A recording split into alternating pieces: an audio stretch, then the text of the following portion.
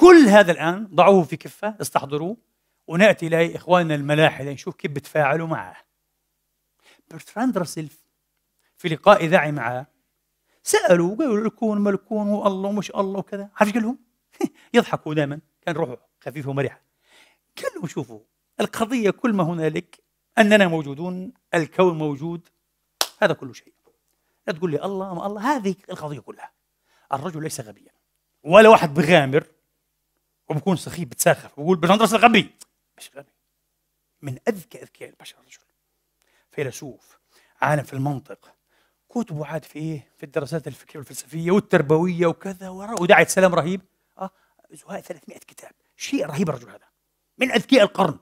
وعمر زهاء 100 سنة. قريب من 100 سنة. تخيلوا؟ برثان راسل. لما يجي يقول لك شوف كون موجود أنا موجود أنت موجود انتهى كل شيء. ما تبحثش عن قضية الله ما الله ما الرجل مش غبي بيحكي كلام فيه ذكاء بس مش منتهى الذكاء هنا. هذا الكلام برضه فيه ذكاء وفيه إيه؟ غلط. واحتراما له كعقل جبار مش حقول فيه غباء وإن كان فعلا هو شيء من الغباء. بس احتراما له سأقول فيه غلط ومغالطة. طب وين الذكاء اللي فيه؟ تعرف الذكاء اللي فيه شو هو؟ الذكاء اللي فيه الآن بردده يردده كل العلماء الملاحده الكبار اللي رافضين كل هذه البراهين الآيوية وما يعرف الآن ببرهان إيه التصميم والتصميم الذكي. يرفضون كل هذا. وبسخريه مره بقولوا جماعة التصميم وجماعة الإيمان واللاهوتيين قلبوا القضية. قلبوا القضية. كيف قلبناها إحنا؟ مين اللي قلب؟ قال لك أنتم قلبتوا. اتنبهوا استيقظوا بلا هبل. كفوا عن هذه السخافات تبعتكم يا مؤمنون. أنتم قلبتوا المسألة. كيف؟ قالوا المسألة معدولة هي كالتالي. ال Big Bang حصل؟ وانفجر. المتفردة انفجرت. ونتج ما نتج. أحد نواتج هذه العملية طويلة الأمد عبر مليارات السنين. الإنسان. بهذا العقل بهذا الوعي. نتيجة جاءت. نتيجة غير محسوبة غير مقدرة غير مرادة غير مرسومة غير مخططة بالمرة. هي هيك. وأجى الإنسان هذا بالوعي اللي عنده كنتيجة تصادفية. آه. غير مرادة بالمرة. أجيش يقول أوف. شفتوا؟ كل شيء مضبوط عشان ينتج الحياة وينتجني أنا وينتج الذكاء وأكون هنا وأعلق. الله أكبر يا عمي. أكيد في الله. قال لك هذا غبي مش فاهم القضية هو. وطبعا كل ما تمعن أكثر. علشان هيك على فكرة أنتم حتتفاجئوا. ستيفن هوكينج في كتابه الأخير Grand Design التصميم العظيم عنده فصل تقريبا في الفصول الأخيرة. فصل كامل لعله الفصل ما بعرف السبعة المهم فصل في الفصول الأخيرة. آه. أنا قرأت الكتاب قبل حوالي أربع سنوات. هذا الفصل لما تقرأ أنت حتعمل ما يعمله هارون يحيى. وبين قوسين بدي اقولها لازم أقولها لأنه هذا ساءني وآلمني كثيرا والله وأتعبني أنا شخصيا. كل ما أقرأ شيء وألاقيه في الأخير مصدر هارون يحيى اقتباس لعالم فيزيائي كبير من ناسا اقتباس لكذا كذا بأكد الإيمان وكذا كذا. برجع إلى هذا العالم بجيب كتابه مرات من الأمازون بكلفني 20 30 يورو كتب 50 يورو. بالإنجليزي بقرأ بلاقي العالم ملحد ولا يؤمن بما يقول هارون يحيى. هارون يحيى يجتزئ كلامه. على فكرة أستاذ في هذا سأقول هذا على منبري وأجري على الله. لأني لا أريد أن أحرج المؤمنين. لا أريد أن أحرج موقف الإيمان والذادة والمدافعين عن الإيمان. لسنا بحاجة أن نكذب على العلماء وعلى الكتب علشان إيه ندافع عن الله وعن ديننا. صح ولا لا؟ لسنا بحاجة. لا تفعلوا هذا. أحذركم تماما والله العظيم بالدرس القاطع والفهم الآن أن تفعلوا كما يفعل أخونا هارون يحيى وبئس ما فعل ويفعل. والله العظيم يقتبس كلاما من علماء ملاحدة. أو أغنوستيك لا أدريين ويفهمك أنه هذا العالم مؤمن جدا جدا وعميق الإيمان. تروح لأصل الكتاب بتلاقي العكس تماما. إيش عمل هو فقط؟ اجتزأ. قطع من هنا قطع من هنا وجاب أشياء نقلها هذا العالم وجابها في معرض أن يسخر منها وأن يدحضها ونسبها له في بحث محترم يفعل هذا. هارون يحيى كتبه غاصة بهذه الطريقة. ما رأيكم؟ شيء سيء جدا. لا أدري لا أدري ماذا وراء هذا الشيء لأنه هذا الشيء حيجعلنا مسخرة. بين العلماء إياك أن تفعلوا. إياك أن تعتمد على كتب هارون يحيى وأنت بتناقش التطور أو الإيمان والإلحاد. إياك. لو فعلت هذا والله أنا أضمن لك وأحلف بالله ستصبح مسخرة. عند الناس الدارسين والفاهمين بس. مش عند الناس مش عارفين حاجة. أوه يقول لك أوه واو أدهشتنا أنت فظيع أنت مثقف وأنت ولا حاجة لا هو ولا أنت. شيء سيء جدا هذا سائع لأنه أتعبني وحصل عدة مرات معي دائما ودائما يطلع غلط غلط. إيش هذا؟ لا حول ولا قوة إلا بالله. إن الله يأمركم أن تؤدوا الأمانات إلى أهلها. الملحد حنجيب أمانة إلحاده زي ما هي والمؤمن حنجيب ينعرض أمانة إيه؟ إيمانه. مش حنكذب على حدا ومش حقيقي نتحيف على أي أحد بإذن الله تبارك وتعالى. واضح؟ طيب. فنرجع يا إخواني نرجع. هذول الجماعه إيش قال لك؟ قال لك هو هذا الذي حصل. فأنت حتلاقي مع إيه؟ مع ستيفن هوكينج فصل كامل يتحدث لك عن توليفات دقيقة مدهشة. لو كانت الجاذبية أقل إيش حيصير؟ لو كانت أكثر بقليل إيش حيصير؟ لو كانت الشمس أبعد قيا أقرب قيا لو لو فصل كامل. حتقول لي مؤمن. ستيفن هوكينج مؤمن. أتى بأدلة على التصميم وعلى التوليف الدقيق من أجمل ما يكون. أتى بها لينقضها ليعيد تفسيرها. ليعيد تفسيرها. طبعا لابد أن أنتهي في خمس دقائق. أتعبتكم وصدعتكم وصدعت نفسي. حنشوف إحنا الحين ريتشارد دوكنز التطوري الكبير عالم البيولوجيا المحترم الكبير جدا كيف أخذ موقفا من هذه إيه؟ البراهين الأيوية من هذه التوليفات الدقيقة. قال لك يوجد أو ثمه ثلاثة تفسيرات لها. أنا بتبنى الثالث. محن جميل جدا. يسعدني أن أسمع موقفك. قال التفسير الأول موقف الأول موقف المؤمنين. قال لك الله هو الذي فعل هذا. الله اختار أن يخلق هذا مع هذا يولف هذا مع هذا مع هذا بحيث كله في الأخير اسمح إيه؟ بنشوء الكون تطور الحياة تطور الإنسان. لكي نبحث هذه المسائل نكتب فيها نتكلم فيها نؤمن بالله. الله الذي فعل هذا. قال هذا بالنسبة لي مش تفسير. هذا لا يضيف شيئا. هذا يعيدنا خطوه إلى الوراء. مش حناقش كلامه الآن. لأن هذا موقف كملحد طيب بلاش. اثنين الموقف الثاني. قال الموقف الثاني موقف بعض الفيزيائيين المحترمين. وبعضهم حامل جائزة نوبل في الفيزياء النظرية أو الفلكية أو غيرها مثل ستيفن واينبيرغ إيش موقف واينبيرغ؟ ملحد معروف. واينبيرغ ملحد atheist. لا يزال. الله يهديه يا رب. يهدي كل الملاحدة. الحق. قال موقفه أننا لا نتوفر على نظرية فيزيائية كاملة. perfect theory يعني. مثل النظرية الموحدة. النظرية بسموها نظرية كل شيء. نظرية كل شيء. لم نصل بعد إلى هذه النظرية إلى هذه المعادلة. حين نصل إليها سنفهم بالضبط ما يحصل وحنعرف أنه كل التوليفات الدقيقة هذه ما لهاش علاقة بالله وما فيش إله يا سلام يا دوكنز. أنت اللي تسخر من إله الفجوات.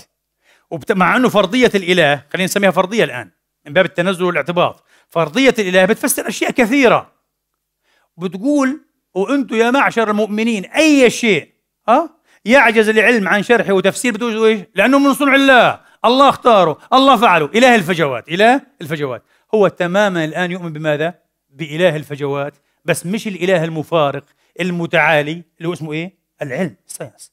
العلم عنده إله وهو إله فجوات. العلم كل شيء بفسره، والشيء اللي ما فسروش اليوم لأنه علمنا ناقص. في يوم من الأيام حنتكامل علميا وحنفهم كل شيء، وبعدون عن قضية الله، شفتوا كيف؟ منطق سخيف جدا جدا ها إله الفجوات العلمي إله الفجوات العلمي من سوء حظ دوكنز من سوء حظه فعلا مسكين ها إنه راح قابل إيه مرة ستيفن واينبيرغ. وقال له أنا نسبت لك ما بعرف قد أكون غير دقيق. قال له واو لا لا لا, لا غلط كلام غلط أنا ما قلتش هيك انه هذا غباء. لا يمكن ستيفن واينبيرغ يقع فيه. حاصل على جائزة نوبل مع أحمد عبد السلام الباكستاني. ويجي يقول إيش؟ ما فيش الله والتوليفات الدقيقة هذه كلها والثوابت ملهاش دلالة. ليه؟ لأنه علمنا غير كامل. يوم ما يتكامل حنعرف. ما فيش واحد يقول هيك. فيش عالم محترم يقول هيك. فيش فيلسوف محترم يقول هيك.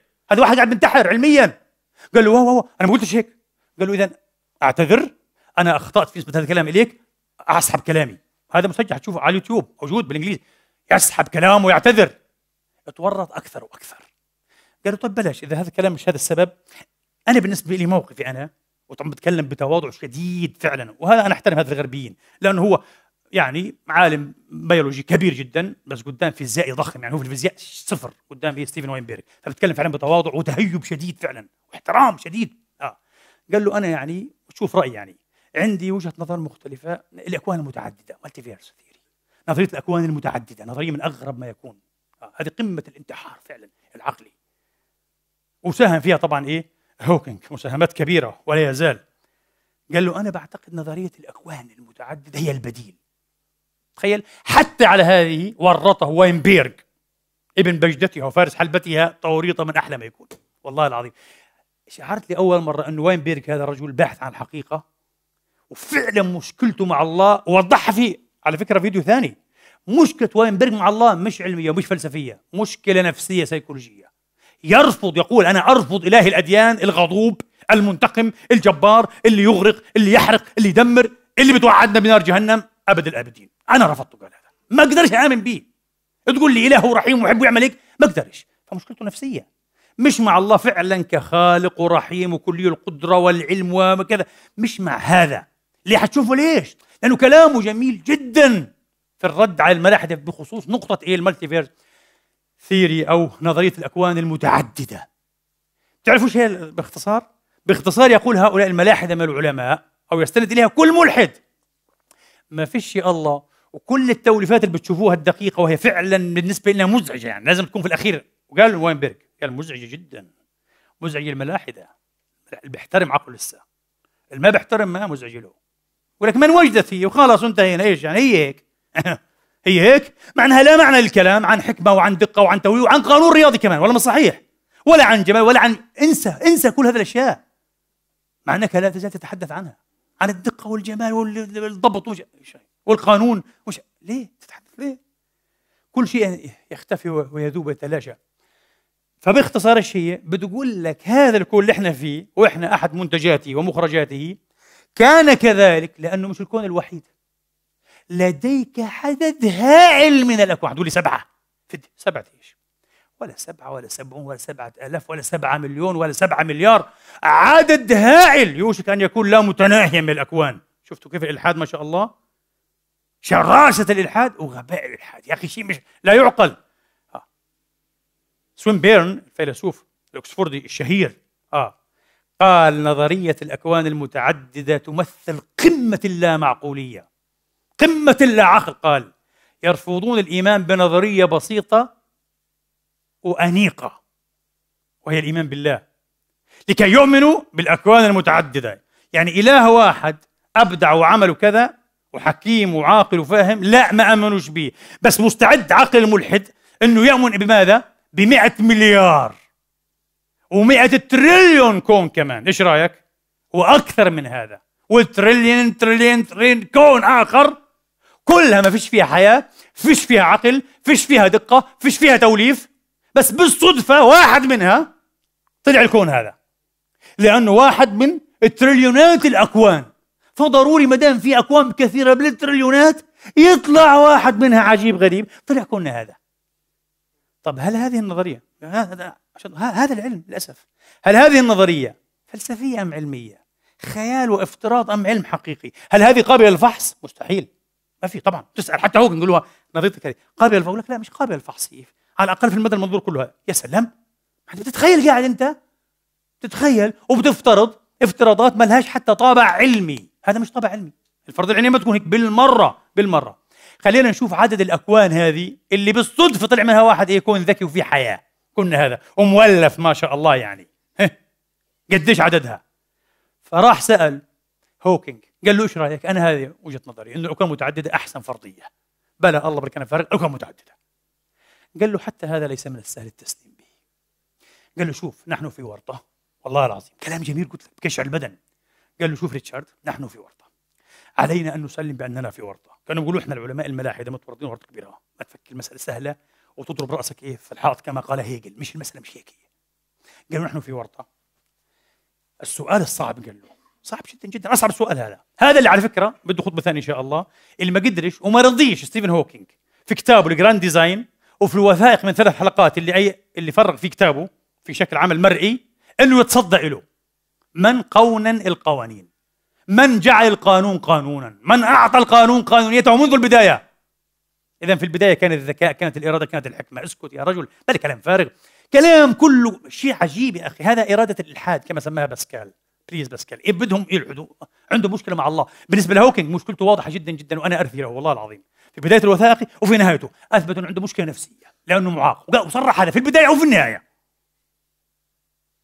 لأنه مش الرافض يسلم إنه في إله رحيم ومحب وكذا خلق هيك معاق. فإذا الأسهل ما في شيء إله. طب هل فعلا هو الأسهل ولا هو بده ينتقم؟ ممكن. سيكولوجيا فيه رغبة من الانتقام. بدي أرد لك إيه؟ الصفة. أستغفر الله العظيم.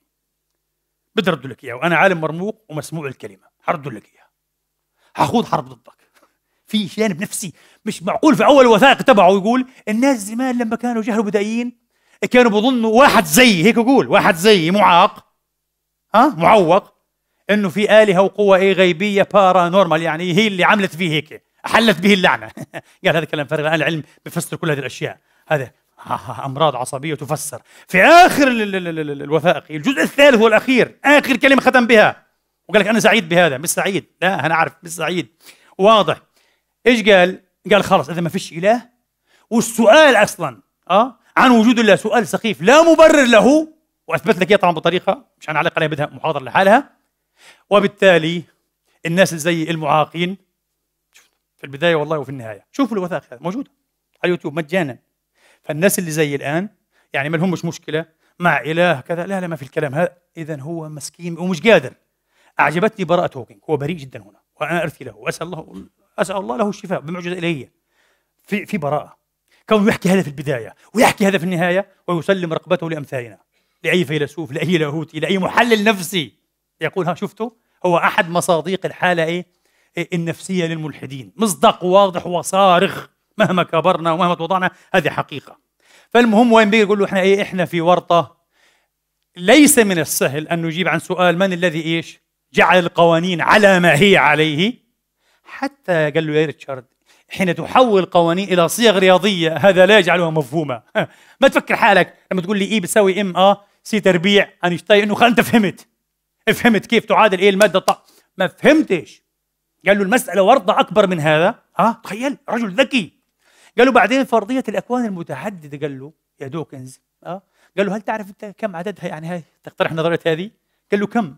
قال له 10 اس 56 10 أس 56 يعني شوف كم تريليون تريليون تريليون تريليون كم؟ أربع أربع في 12 كم؟ 48 آه 48 وعندك غد كمان ثمانية. مش صحيح؟ عندك كمان ثمانية. 100 مليون تريليون تريليون تريليون تريليون. كون. هذه أكوان كلها؟ أجل. قال له إن كان لديك يا ريتشارد فكرة فكرة عن الترددات في النطق الضيقة. هو عارف ما عندوش فكرة. ولا ولا أنا عندي فكرة. هذا شغلات فيزيائيه معقده جدا أكيد يعني. الشغلات معقدة. آه.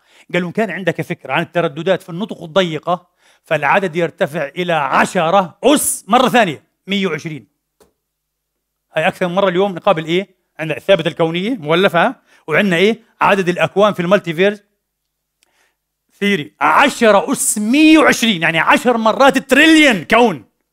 علشان يجي كون واحد سأسألكم وأختم الخطبة. بالله عليكم وعليكن.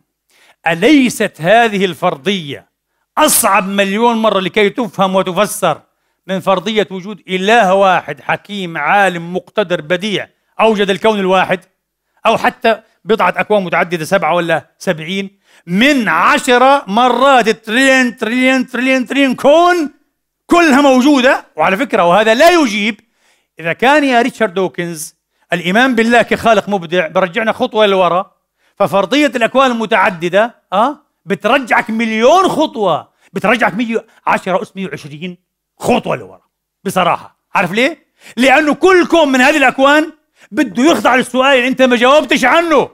عارف شو هو؟ خذ الكلام هذا كلام أهم شيء في خطبة اليوم. الحين أجاني. أهم شيء خلاصة رهيبة إن شاء الله. الكون تبعك هذا المولف والدقيق والبديع والعجيب واللي أنتجك أنت لقيت مشكلة تسلم إنه الله خلقه رغم كل الحكمة والدقة اللي فيه. وعشان تفسر كل الدقة والحكمة اللي فيه افترضت 10 اس 120 كون غير دقيقة وغير جميلة وغير حكيمة بالصدفة اجى فيها. السؤال الآن. كل كون منها. من الذي خلقه؟ وكيف وجد هل chaotic هذا universe؟ هل كون العشوائي الغبي الكذا من وين اجى هذا؟ الثاني هذا. من وين اجى من وين جاءت المادة تبعته؟ كيف حصل له؟ ولا في غادي بيج بانك كمان ثاني؟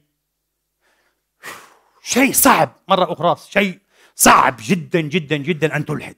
نسأل الله تبارك وتعالى أن يفتح أعين بصائرنا وأن يشرح صدورنا للحق ونوره العلوي وأن يملأ أجواءنا أيها الإخوة وأبصارنا وبصائرنا يقينا به إحساسا وشعورا وإيمانا نعيش ونموت ونلقاه لا إله إلا هو عليه. اللهم